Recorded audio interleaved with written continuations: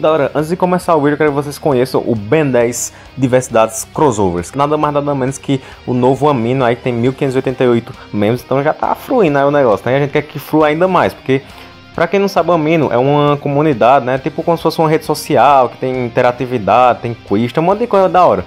Inclusive, tem esse aí tem um RPG, né? Que eu vou participar.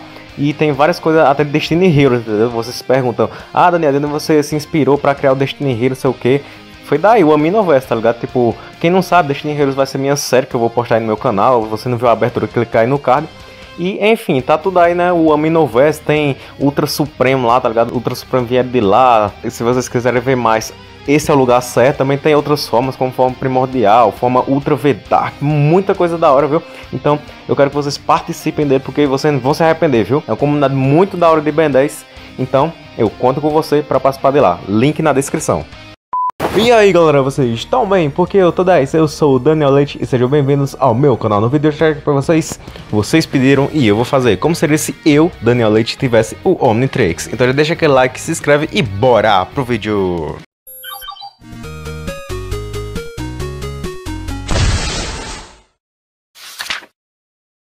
Mas, primeiro, vamos esclarecer alguns pontos. Primeiro, nesse universo não existiria o Ben 10, o desenho Ben 10, tá ligado? É como se eu fosse um Ben 10 alternativo. Vamos imaginar que fosse assim, tá ligado?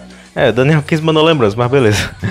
Em segundo lugar, eu teria os mesmos 10 originais do Ben, tá ligado? Mas se vocês quiserem que eu faça um vídeo sobre como seria se meus 10 originais fossem diferentes do do Ben, deixa muito like que eu faço. E terceiro, eu teria 18 anos e não 10. Por quê? Porque assim. É porque eu acho melhor, por causa que eu teria mais noção das coisas, entendeu? Mas vamos lá. Começaria eu lá, né, andando normalmente, andando aí por uma floresta, né, passeando. Aí do nada, chegaria lá uma cápsula do céu, ia cair na minha direção. Já ia ficar todo assustado, todo nervoso. Só que como eu sou curioso, né, aí eu ia lá ver o que era, né. E eu vi que era um relógio, eu achava muito da hora que eu gosto de usar relógio, né? Aí eu ia lá e colocar ele no meu pulso. Só que eu ia perceber que ele ia grudar, eu ia ficar todo desesperado, agoniado. Porém, eu ia, eu ia querer saber como é que olhava a hora, assim, tá ligado? Que eu ia ver, oxe, esse relógio mostra a hora, não, tá quebrado, sei o quê. Aí acidentalmente eu me transformaria no Alien, né? Aí vamos supor que eu virasse o chama, do mesmo jeito do bem. Né? Como eu teria 18 anos, eu não ia ficar assim, eu ia ficar desesperado, eu ia ficar assustado. Nossa, meu Deus, o que foi que eu fiz? Como é que isso é possível? Como é que eu virei esse bicho de fogo maluco? Mas depois eu ia me acalmar, eu ia pensar assim, nossa, ah, beleza, eu tô, eu tô pegando fogo, mas eu não tô sentindo, então tá, tá de boa. Se eu tivesse 10 anos, eu ia fazer a mesma coisa do bem, eu ia queimar a floresta. Só que como eu tenho 18, eu ia ser mais racional, eu, ser, eu querer aprender como é que funciona a natureza desse bicho. Eu ia me imaginar como se fosse o Tocha Humano, né? Já que não existe Ben 10, só que as outras séries existem. E eu, eu ia assistir, né? Eu ia assistir as outras coisas de super-herói, né? Porque eu gosto. Então eu, eu ia me imaginar como se fosse o Tocha Humana. Aí eu querer dominar os poderes dele, entendeu? Assim, eu não ia sair soltando fogo que nem doido, né? Mas, só que eu, eu ia tentar treinar, entendeu? Com cuidado, né? Com cuidado para não fazer nenhuma coisa errada, nenhuma cagada, né? E é, é isso, eu, eu, teria dificuldade no começo, né? Acredito eu, só que com o tempo eu ia, é, ia fazendo as coisas com paciência, com paciência, aí eu ia aprender. Aí depois passasse o tempo, né? Passasse lá 10, 20 minutos, aí o tempo que o Omnitrix descarregasse, aí, puf, aí eu voltasse normal e senti um alívio tão grande, né? Porque eu já ia pensando na possibilidade de eu ficar preso nesse alien pra sempre. Aí eu chegar lá na minha mãe, ó oh, mãe, eu sou agora um bicho de fogo, meu Deus.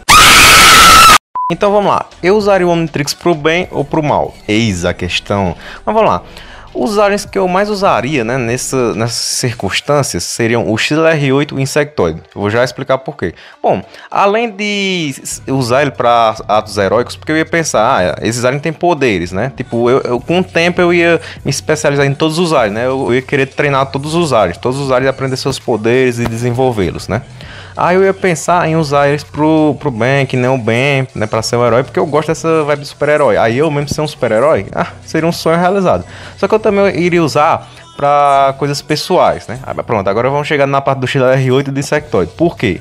Primeiro que o XLR8 é o meu alho preferido, né? Vocês sabem disso, né? Os novos inscritos não devem saber, mas os antigos vocês sabem. Ele tem poder de velocidade. Eu adoro poderes de velocidade. Não é à toa que o Flash é o meu herói da DC favorito, né?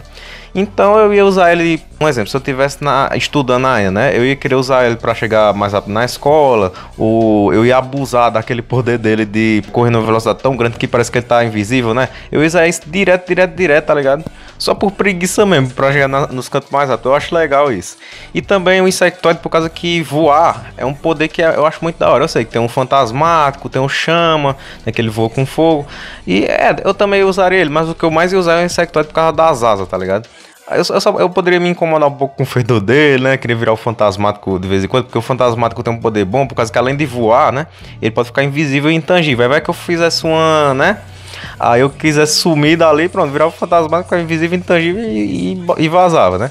E é claro, eu ia guardar a identidade secreta, né? Ter esse negócio de segredo, eu nem ia querer contar a ninguém. Talvez eu contasse pros meus melhores amigos, porque eu sei que eles não iam contar pra ninguém. Se eu dissesse assim, ó, oh, eu não quero que ninguém saiba, não sei o que, é um segredo, porque isso é muito perigoso, essas coisas. Aí eu sei que eles iam guardar segredo, né? Por causa que assim, é aquela lógica. Se eu tenho poderes, então é porque existem vilões, né? Então ia vir um monte de bicho lá, igual no Ben 10, né? Apareceu um monte de bicho pra querer pegar meu Omnitrix, mas eu, eu lutar contra eles. E eu não serei que nem o Ben no quesito de não desenvolver o Alien 100%. Tipo, porque o Ben, vocês podem parar pra prestar atenção, ele nunca usa o poder total do Alien né? A supernova do Chama Bebê. Ele, ele poderia ter pensado, nossa, esse poder é muito legal, é muito da hora, muito apelão mesmo. Eu poderia desenvolvê-lo. Mas não, ele nunca mais usou, ele só usou naquela situação, ficou com raiva e usou contra o Rex, entendeu? Mas você imaginar aí o, o Chama treinado no Omniverse, tá ligado? Com 16 anos, seria um estrago muito grande. E seria isso que eu ia fazer, tá ligado? Eu ia querer explorar todo o potencial do Alien pra acabar com o inimigo de uma vez. Eu ia chegar estilo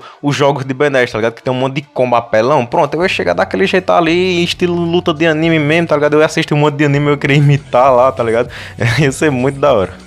E outro óleo que eu ia usar comumente seria o massa cinzenta. Por quê? Por causa que ele é inteligente, né? Eu gostaria de usar para situações que precisassem de uma análise alguma coisa.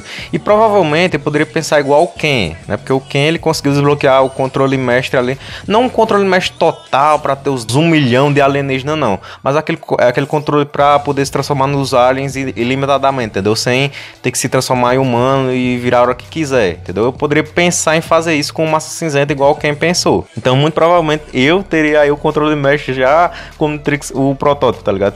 E eu não ia desativar, eu acho não, isso ia ser uma coisa que ia me ajudar muito, muito mesmo. E assim, diferente do bem, eu acredito que eu não tiraria o Omnitrix, entendeu? Em nenhuma situação. A não ser que fosse pra trocar, né? Se o Azimuth chegasse lá, eu conhecesse ele, ó, eu sou o criador do Omnitrix, sei o que ele quisesse dar o Omnitrix novo. Ah, rapaz, eu tirava esse daqui e pegava o, o, novo na hora, né? Se fosse mais poderoso, ali, se fosse, tivesse controle mestre tudo lá, eu acharia eu queria, né?